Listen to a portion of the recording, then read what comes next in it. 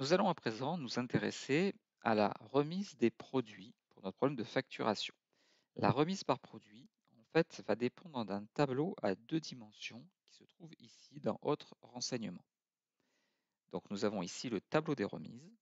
Donc en fonction du métier exercé, boutique, distributeur ou autre, hein, donc on a quatre métiers, bout, col, div, et en fonction des familles de produits que l'on va vendre, CR, PL ou SO, on les repère très facilement ici. Hein. Dans notre fichier article, on a des articles qui commencent par CR, d'autres par PL, et enfin d'autres par SO. Eh en fonction du métier et de la famille de produits, eh le taux de remise ne sera pas le même. Alors, comment va-t-on faire cela? À partir d'une fonction un peu particulière qui est capable de faire une recherche dans un tableau à deux dimensions, c'est-à-dire organisé en ligne et en colonne. C'est la fonction index qui permettra de faire ça. On va revenir par exemple sur notre client Bazar. Et au passage, je m'aperçois que le code TVA, là, j'ai oublié de tirer la poignée de recopie, puisque nous avons un taux de TVA qui est tout le temps à 20%. Voilà, donc on a bien les 20% qui n'apparaissent que sur les lignes où il y a des articles vendus. Donc je reviens maintenant, on a le client Bazar. Le client Bazar appartient à un code métier particulier, particulier qui est div. Donc si je vais ici dans mon tableau de remise, div c'est la quatrième colonne. Et le premier article que j'achète, c'est un article qui commence par SO. C'est donc la famille SO, troisième ligne. Donc div SO, ça veut dire qu'il faudra afficher 0%. Donc en fait, il faut dire d'afficher parmi dans ce tableau-là l'information qui se trouve en troisième ligne et en quatrième colonne. Donc pour faire ça, c'est très simple. On a une fonction index égale index qui permet de dire qu'on prend ce tableau de données-là, on sélectionne tout le tableau sans les titres, point virgule, on veut renvoyer la troisième ligne virgule, la quatrième colonne. La parenthèse, je valide. Et j'ai bien 0%. Donc ça c'est très simple, mais le problème c'est qu'on a rentré à la main le 3 et le 4. C'est-à-dire qu'il faudrait faire ça manuellement. Donc bien entendu, il va falloir automatiser ça un peu plus. En fait, pour rechercher, on va commencer par le code métier. Donc le code métier est en colonne. Donc, pour aller rechercher div dans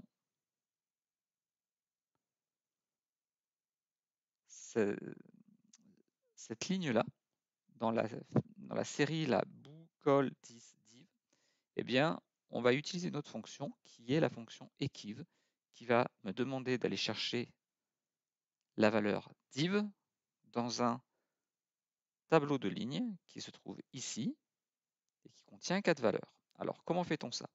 Je vous rappelle que là, on est dans les colonnes. C'est la valeur 4 qu'il faut renvoyer.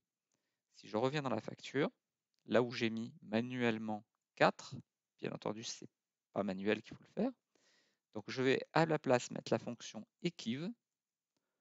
Ouvrez la parenthèse. La valeur cherchée, ça va être div, point virgule, dans un tableau de recherche qui se trouve ici donc je dis que je cherche div dans tout ça. On ne va pas plus loin, on essaye de valider. Euh, est-ce que j'ai refermé la parenthèse? J'ai oublié de la refermer. Je valide.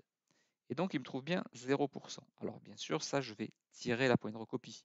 Donc, si je tire la poignée de recopie, mon div là va descendre, ça ne va pas. Et ici, cette colonne-là va descendre. Donc il faut bien sûr mettre des valeurs absolues, aussi bien sur le D15 que sur la plage autre renseignement B10E10. Hop, je me suis trompé. Ah, j'ai désélectionné.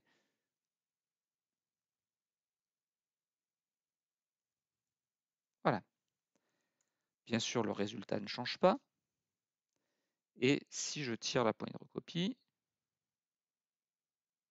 normalement, j'ai des choses qui ne vont pas encore. Alors pourquoi? Index. Ah bah oui, mon tableau, je ne l'ai pas rendu fixe. B11, E13. Donc lui aussi, quand je tire la poignée de recopie vers le bas, il ne faut pas que ça bouge. Hop. Donc là, si je tire la poignée de recopie, j'aurai toujours affaire à une famille de produits div. Voilà, donc j'ai bien 0% partout. On gérera après avec le si est vide les 0% des lignes vides. Hein. Ça, on verra tout à l'heure, on l'a déjà vu dans la vidéo précédente. On va maintenant s'occuper de l'information de la ligne. Alors l'information de la ligne, nous l'avons ici, c'est le 3.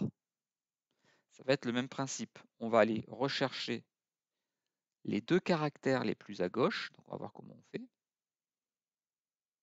dans cette plage de cellules qui se trouve ici, de CR à SO. Donc là aussi, ça va être la fonction équive qui va, permettre de faire cette recherche. Alors, allons-y doucement, parce que c'est un petit peu plus compliqué. Donc c'est à la place du 3. Donc, je recherche mon 3. Il se trouve ici. hop, je vais plutôt le taper là. Donc le 3, je le sélectionne, je le supprime. Et là aussi, je vais avoir une fonction équive qui va me permettre de dire, je vais rechercher la valeur cherchée. Alors, ce n'est pas saut 358, c'est les deux premiers caractères. Donc les deux premiers caractères, en partant de la gauche, je vais pouvoir les extraire en faisant équive. Alors de gauche, ouvrez la parenthèse, cette cellule, point virgule 2. Ça, ça va me permettre de sortir les deux premiers caractères de la cellule. Il n'a pas fait ça. Alors, égal gauche de A19 à 19, point virgule, 2, fermez la parenthèse. Alors ça, ça va me dire d'aller chercher saut, point virgule, dans un tableau de recherche, votre renseignement, qui se trouve ici. Fermez la parenthèse. Si je valide, ça ne marche pas. Alors, pourquoi ça ne marche pas? Parce qu'il y a un gauche de A19, il y a deux points virgule. Hop, et là ça marche. Alors attention, là aussi, quand je vais tirer ma poignée de recopie, ça, ça doit descendre. Mais par contre, le tableau de recherche, donc je est-ce que c'est, où est-ce que j'ai mis mon gauche. J'ai mis mon gauche ici de A19, donc sur la ligne suivante, ça doit être A20, ça c'est très bien. Par contre, le A11 à 13, lui, il reste fixe, il reste figé.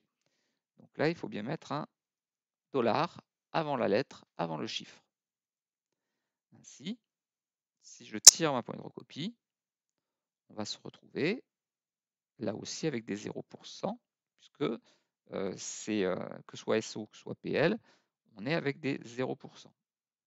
SO et PL, on est à 0%. On va juste changer, on va prendre cuir par exemple pour voir si ça marche être un autre code métier. Cuir. Cuir, c'est bout. Et là, il me fait une remise à 25% lorsque c'est saut et à 20% lorsque c'est 20, lorsque c'est PL. Alors pour bout, on a 25% lorsque c'est saut et 20% lorsque c'est PL. Donc ça fonctionne bien. Il me reste juste une petite chose à faire encore, qui est d'enlever CNA. Bon, ben ça, on l'a déjà vu dans les vidéos précédentes tout ce index-là, on va le mettre dans une fonction si est vide. Donc je fais ici égal si, ouvrez la parenthèse, est vide de cette cellule à 19, alors je n'affiche rien, sinon je fais mon index et à la fin, je ferme la parenthèse. Voilà, donc on va construire les fonctions comme ça, petit à petit, en partant du plus simple vers le plus compliqué. Donc si je tire mon point de recopie, nous avons bien des remises uniquement sur les lignes où on a des produits commandés. Le calcul du montant hors taxe. Alors le calcul du montant hors taxe, c'est relativement simple. On va prendre la quantité que multiplie le prix unitaire hors taxe moins la remise. Donc on va multiplier par le prix, j'ai fait deux fois multiplier, par le prix unitaire hors taxe, facteur, donc multiplié par, ouvrez la parenthèse, 1 moins le taux de remise. Fermez la parenthèse. Ce qui fait 623. je vais mettre ça en euros. Et ça fait 623,88 euros. Là aussi, si je tire la poignée de recopie, ça fonctionne, mais là j'ai des messages d'erreur. Donc on va mettre ça de la même manière dans un si est vide, égal si, ouvrez la parenthèse, est vide de la cellule A19, fermez la parenthèse, alors je ne fais rien. Sinon, hein, le point virgule c'est le alors sinon, je fais mon calcul. Et à la fin, je ferme la parenthèse de mon si. En retirant la poignée de recopie, je vais trouver juste des valeurs là où j'ai des articles. Voilà pour le haut de notre facture. On va s'intéresser maintenant au bas de la facture. Je descends un petit peu. On va préciser ici que le taux de TVA est toujours à 20%. Donc on va l'écrire hein, tout simplement. Le taux de TVA est à 20%. Comme ça, au moins, c'est écrit clairement. Ici, on va écrire total hors taxe. Deux points. Alors ça, je vais peut-être pas le mettre ici. Je vais peut-être le tirer et le mettre ici. Et on va l'aligner à droite. Je vais même mettre un espace après. Voilà, comme ça, ça l'éloigne un petit peu. En dessous, je mettrai la remise client, puisque certains clients disposent d'une remise spéciale. On va voir pourquoi et comment après. Ensuite, on va calculer un net hors taxe. Ensuite, on va ajouter des frais de port assez compliqué à faire.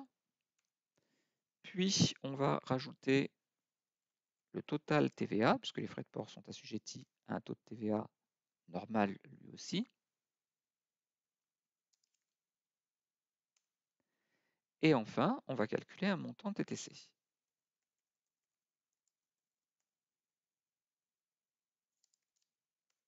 Voilà. Alors, on va peut-être juste quand même mettre tout ça à droite homogénéiser la présentation. Voilà. Là, on va fusionner. Ah, il n'est pas d'accord. Annuler. On va fusionner ces deux cellules-là. Ah. Hop. On va fusionner. On va fusionner. Donc là, il faut répéter un petit peu ces opérations. Puis on va mettre à droite. Là et là, on va mettre un petit quadrillage. Et on va, cette colonne-là, on va la mettre à droite. Voilà.